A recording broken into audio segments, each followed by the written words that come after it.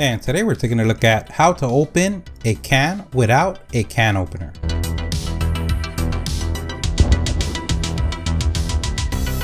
This is so easy, anyone could do. Everything that we use on the video, we're gonna leave a link on the description. And today we're gonna open this can different ways. We're gonna use a knife, big and small, a butter knife, a cleaver knife, a spoon, and sometimes we forget that a multi-tool knife has a can opener. So you got the can and you notice it's not one of the cans with the pull tab. Don't worry, today we're gonna open this baby up.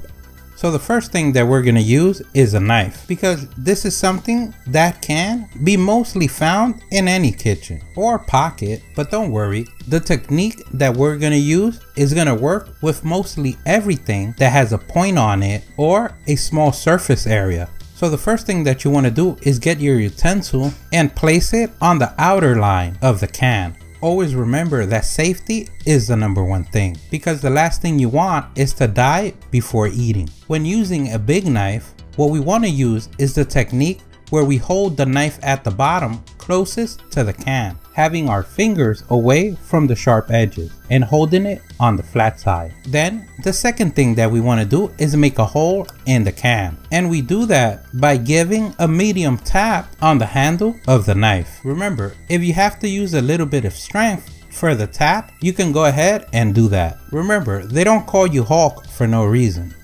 Then, to finally open the can, what you want to use is a rocking motion and you can help the knife out by turning the can at the same time or just creating pressure going around the can as you rock the knife. If you're using a small knife, because it's closer to the can, you can have a firm grip on the handle of the knife. And like that, it's gonna be safer where you don't have to hold the blade. Then you go ahead and give it a tap. And to open the can, you use the same rocking motion.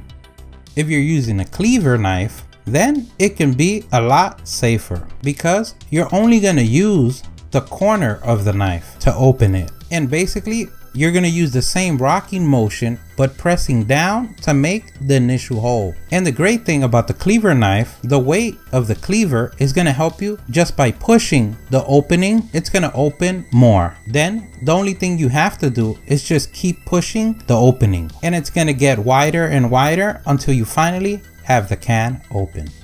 But let's say you don't feel like Rambo and you don't want to use a sharp knife, then we can use a butter knife. And basically it's the same technique. We place the knife on the outer line, hold it from the handle and then give it a tap.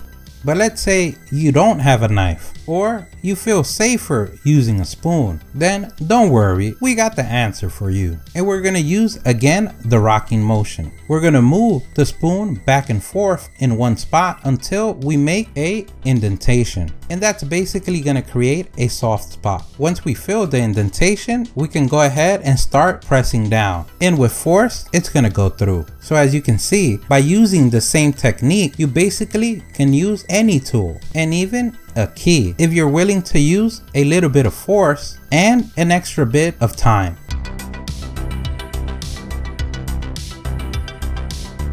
But let's say you just remember you have a multi-tool knife or a Swiss Army knife. Remember, there's a can opener on it as well. And that's the hook style with the flat in the front. And basically is the same technique. Place it on the outer line, create some force downward to make the initial hole, and then rock yourself to tuna heaven. Now that you've mastered the ancient technique of tuna can opening, here at the StatUpBox team, we certify you as a tuna can boss.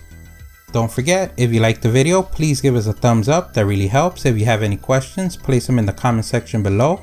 Don't forget to subscribe, follow us on social media. Thank you for watching and here's a link to our latest video.